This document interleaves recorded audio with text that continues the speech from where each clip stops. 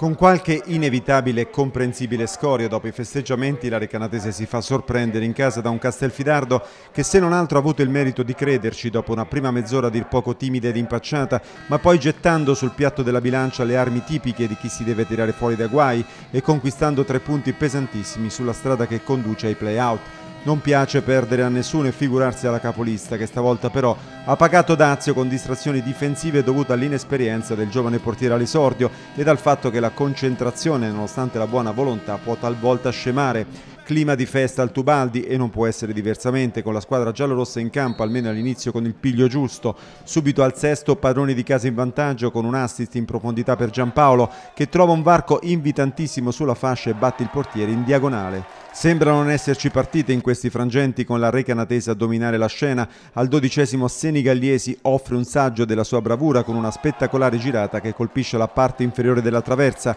ed a giudizio della terna con il pallone che esce. Poco dopo Morganti perde palla ancora Senigalliese ad andare via sulla fascia, non trovando però lo specchio della porta.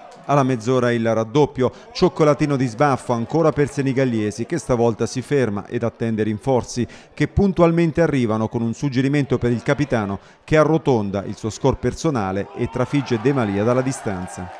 Piccioni mischia un po' le carte di cambi, hanno il loro effetto. Al 41esimo intanto i bianco-verdi accorciano, l'esordiente Cingolani riesce a neutralizzare su Morganti, ma nulla può sull'appostato Perkovic che appoggia in rete da pochi passi.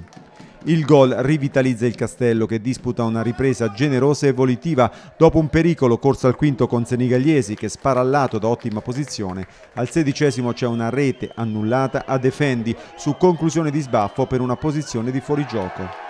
Un giro di lancette c'è il pari, erroraccio di Cingolani ne farà sicuramente tesoro per il futuro e Bracciatelli non perdona, siglando il pareggio. Gli ospiti ci credono e fanno bene e dopo una rete annullata con qualche dubbio a Defendi approfittano di una dormita generale della difesa e strappano l'intera posta con il subentrato cardinale al 41esimo, non rubando assolutamente nulla, mentre forse per la recanatese ci sarà una lavata di capo da parte del mister che probabilmente non avrà del tutto gradito.